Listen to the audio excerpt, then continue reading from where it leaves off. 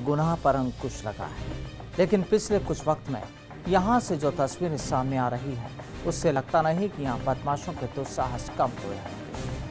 चलिए अब आपको एक उस वारदात के बारे में बताते हैं, जहाँ एक डॉक्टर को सरेआम उसी की कार में गोली मार दी गई। बताया जाता है कि दो बाइक पर यहाँ पहुँचे चार बदमाशों ने इस वारदात को अंजाम दिया और डॉक्टर को गोली मारने के बाद यहाँ से फरार हो गया देखते हैं, यूपी के देवरिया से मिली ये रिपोर्ट।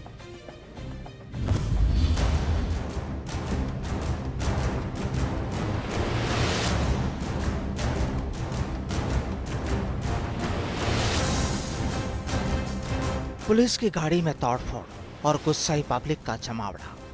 पुलिस की उड़ती हवाइयाँ और पब्लिक का गुस्सा। दरअसल ये वो तस्वीरें हैं जो यूपी के देवरिया में तैयार हुई, जहाँ अज्ञात बदमाशों ने एक सरकारी डॉक्टर को गोली मार दी। सामने आया है कि दो बजे ओपीडी का काम खत्म कर डॉक्टर मोहम्मद खालिद अपने घर के लिए निकले ही थे। कि सखीनी नहर के पास पहले से तैयार, दो बाइक सवार युवकों ने उनकी कार रुकवाई और उन पर फायर कर डाले। गोली लगने के बाद डॉक्टर वहीं गिर पड़े, लेकिन बदमाशों का दुस्साहस देखिए। डॉक्टर को एक बार गोली मारने के बाद भी बदमाशों ने पाँच गोली उनके सिर में उतार दी, जिसके बाद डॉक्टर की मौके पर ही मौत हो गई। लोगों का कहना है कि थाने से महज 100 मीटर की दूरी पर पाँच राउंड गोलियाँ चलाई गई, लेकिन पुलिस आधे घंटे बाद घटना स्थल पर पहुँची। सामने आया है कि कातिलों का शिकार हुआ डॉक्टर। समाजवादी पार्टी के नेता का दामाद।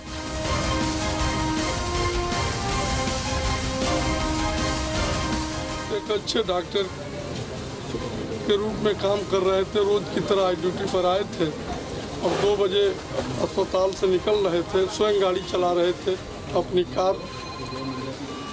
लोगों ने गोली मार के हत्या कर दी, चार लोग थे, दो मोटरसाइकिलों से। इस घटने से पूरा पूरा समाज और पूरा परिवार हिल गया है। मेरी तो एक ही बेटी थी और अपने बाप का अकेले बेटा था। हमारी अब पूरी छत हुई है। हम आप लोगों से कहीं मांग कर सकते हैं। दमाद तो मेरा अब नहीं मिलेगा। बेटा मेरा गया, लेकिन असली हत्यारे पकड़े जाएँ। उनको सजा मिले कानून के गिरफ्त में जाए हम यही आप लोगों से अपील करते हैं, आपके माध्यम से हम मांग करते हैं, इस सरकार में अब कोई सुरक्षित नहीं रहा।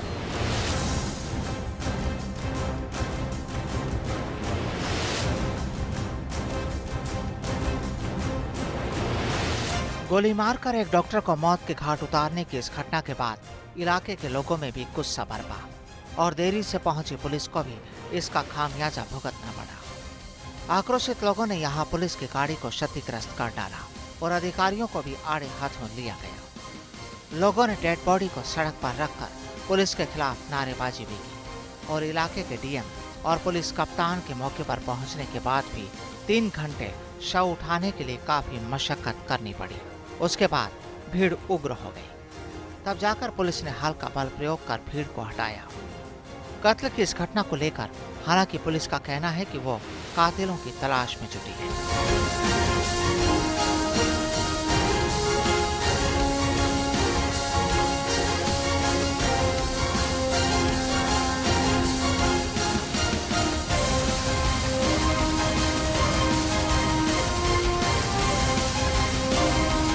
ये आज एक दुखद घटना घटित हुई है। पीएचसी में तैनात हमारे जो डॉक्टर साहब थे डॉक्टर अब्दुल खालिक उनका दुखद तरीके से एक गोली मार के हत्या कर दी गई है।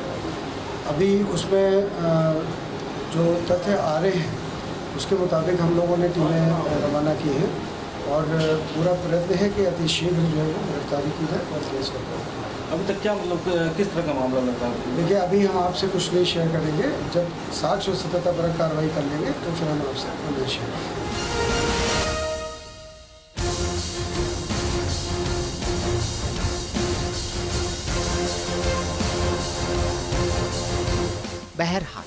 दिन दहाड़े डॉक्टरों को गोलियाँ मारने की इस घटना के बाद अब इलाके के लोगों में भी गुस्सा है।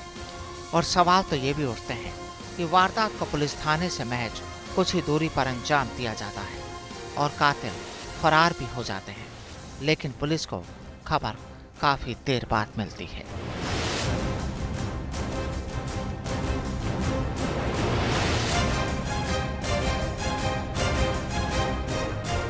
फ़र्स्ट इंडिया के लिए देवरिया यूपी से ब्यूरो रिपोर्ट।